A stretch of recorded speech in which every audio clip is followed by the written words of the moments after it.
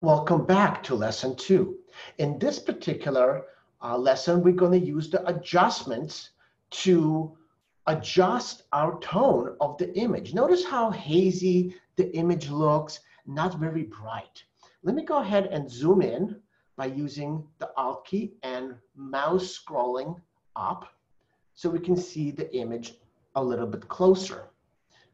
So now we're going to go to the adjustments pane on the right-hand side. We're going to left click once. And we are going to either use the curves or we can use the levels. I'm going to go ahead and use the levels to adjust the level of the white balance in this particular image. Notice we have the dark, the light, and the midtones. When we drag one or the other, you'll see the images getting darker as we dra dragging the, the dark. Let's drag the light. We are actually overexposing the light side of the image. And this is the midtones. Well, let's go ahead and using eyedropper tool to select an automatic way to adjust for lightness. Now I'm going to use the light and I'm going to pick something on this image that is representing the white balance that I like.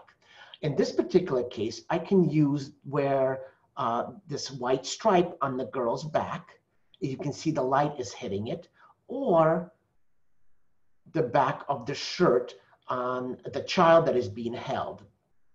I'm going to go ahead and left click once, and you'll notice the whole image will lighten up. There we go. We just adjusted the levels for the image. If you want to see the image adjustment with the histogram using,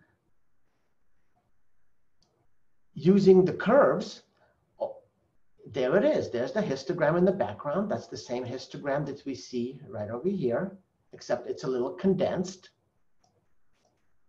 And these are our curves. Again, darks and lights. That's our light. That's our dark. And we can create and bend this curve to the way we want to bend it. See that? You have the same tools, the light and the dark tools, dark, midtones, lights, to do exactly the same adjustments that we did a few minutes ago.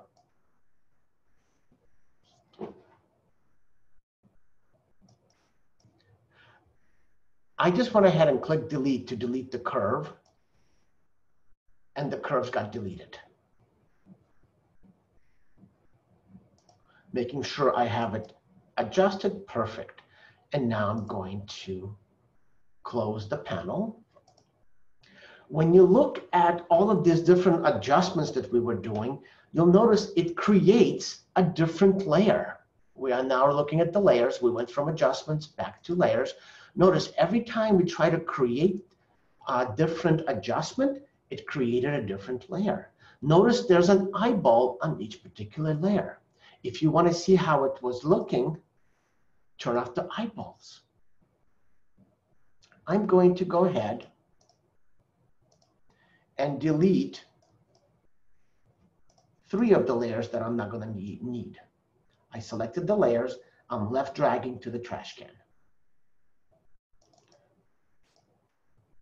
If I want to readjust my curves, I double click, select the eyedropper, and the level gets readjusted.